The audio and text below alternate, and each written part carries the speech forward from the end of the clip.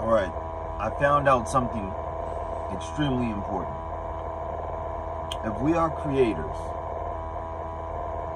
and we have karma, what happens to us or what we think about our neighbor happens to us in a sense.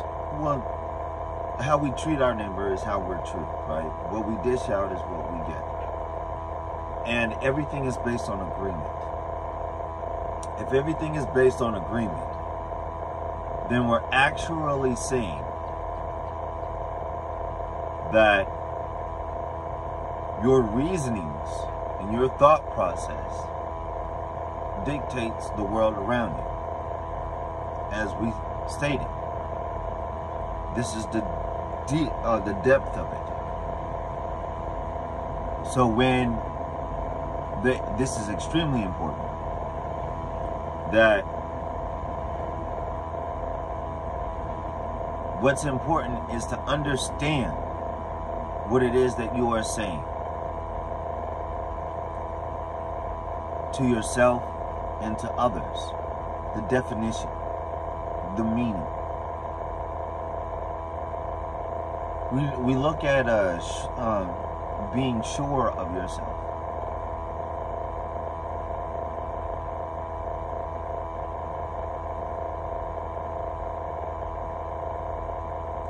And other things pertaining to the concepts.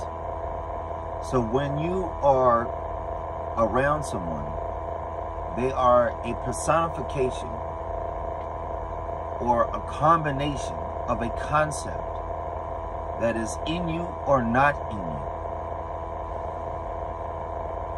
This is deep because it is exactly like programming. And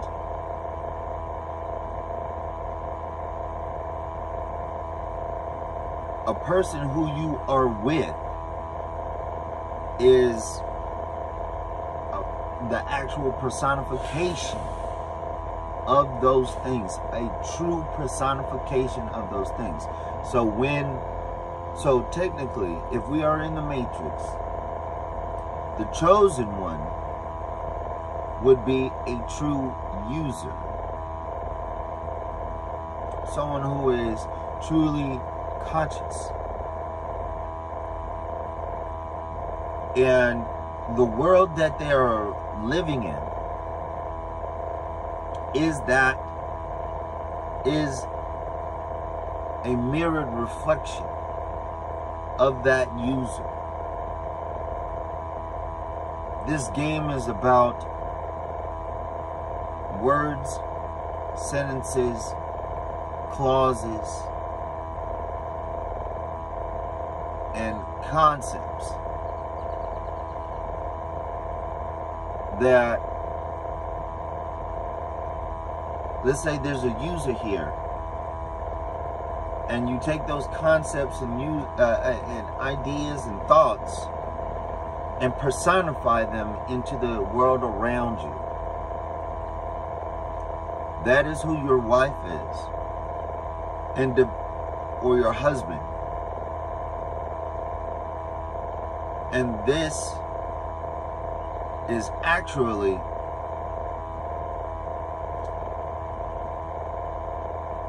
a um,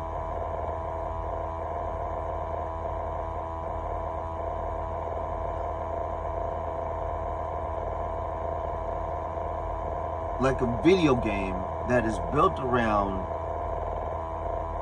coding. You know, these little segments of lines of code, of ideas.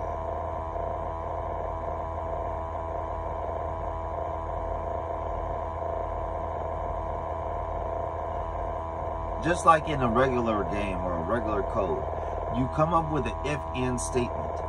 After that if-and statement, you make that, it actually becomes something like a person or a, a, a program or a reflection of the user in reality, in the actual hard written reality, for real, for real because everything is based on agreement. And what you see on the inside is what you see on the outside. So this is an inevitability of truth.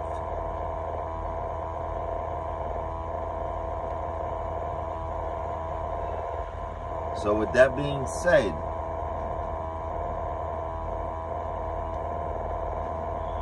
our handbook outside of the Bible should be a dictionary. And in a dictionary, to understand the true definitions, along with synonyms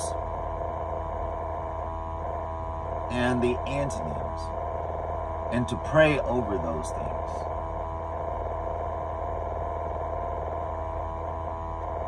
That those are the things that dictate the world we live in. To get a greater understanding.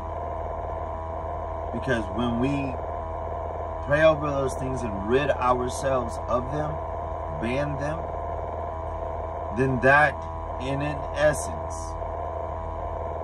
is getting rid of a person that could hold those frequencies. And it doesn't mean you're getting rid of the person. You're you're getting rid of the frequency when we pray over these over these things and dictate them in our world. That's like a control or delete. And then the agreement of them is truly passed away. But that doesn't mean it doesn't exist. It just means that it goes into a holding area, almost like a trash can. It is not truly deleted. When you send something to the trash can on your phone, it's not deleted, it just goes in the trash can. And it becomes separate from the rest of the program or the rest of your phone. That is what the abyss is. It is a quarantined location. And Gehenna is actually when it is wiped clean from the program. Truly forgotten.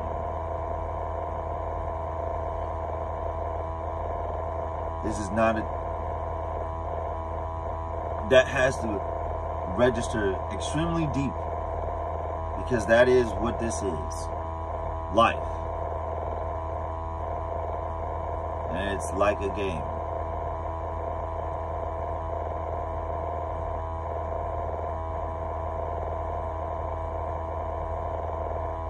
It's truly deep.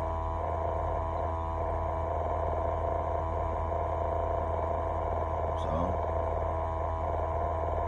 that is what that is.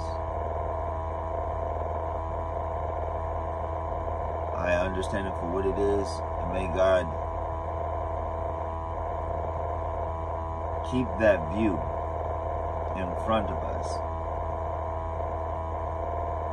Knowing who is what and what is what in their lives. In order for us to truly be in harmony. And be so in the name of Jesus. Christ. Amen.